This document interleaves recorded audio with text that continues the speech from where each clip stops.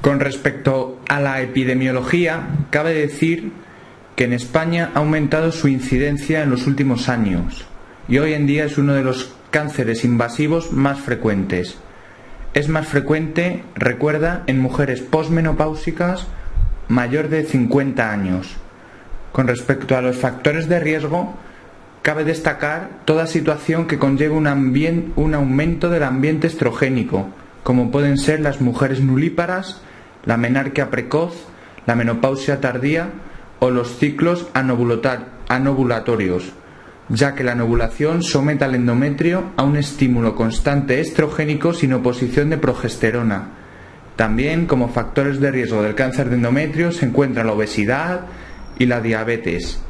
Recuerda que los anticonceptivos orales combinados tienen un efecto protector a largo plazo, al igual que el tabaco, que disminuye un poco el riesgo de cáncer de endometrio, paradójicamente, a lo que cabría esperar. Simplemente recuerda que el tipo histológico más frecuente es el adenocarcinoma de endometrio y el tipo histológico de peor pronóstico es el carcinoma de células claras. Ante toda metrorragia en una paciente peri o posmenopáusica se debe sospechar cáncer de endometrio hasta que no se demuestre lo contrario. Recuerda también el síndrome de Lynch tipo 2, que asocia carcinoma colorectal más cáncer de endometrio o cáncer de mama.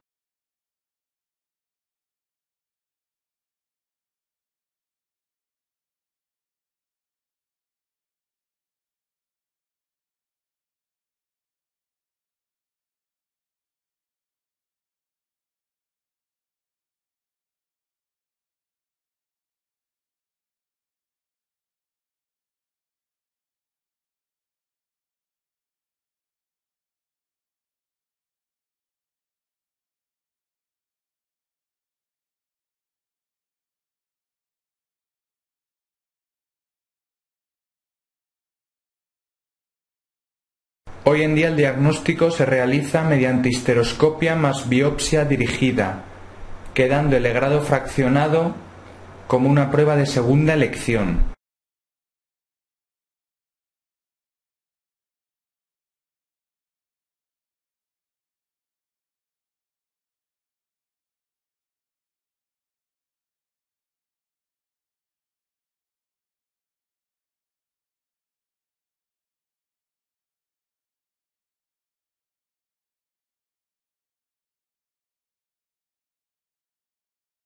Toda esta edificación es dura de estudiar porque se necesita mucha memoria. En este caso te recomiendo que repases por encima la estadificación a través del mapa mental y en cada sucesiva vuelta échale un vistazo para el día del examen acordarte de algo.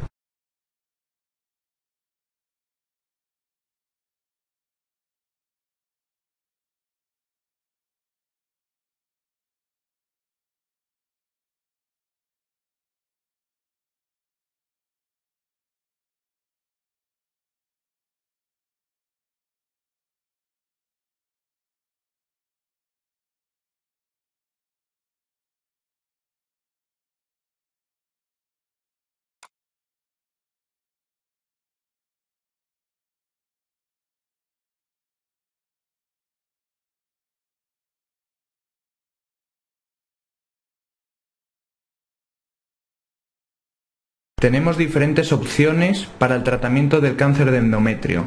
Primeramente y siempre que sea posible debemos realizar una cirugía con intención curativa. También la radioterapia tiene indicación en este cáncer. Existen varios tipos de radioterapia para el cáncer de endometrio. La radioterapia externa o la braquiterapia. Las indicaciones se pueden hacer con ayuvancia a la cirugía o como alternativa cuando la cirugía no es posible. La quimioterapia se utiliza cuando ya el cáncer de endometrio tiene metástasis.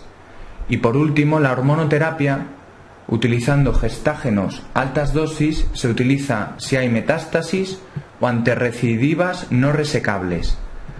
Por el contrario, ahora vamos a basarnos en el tratamiento según los estadios.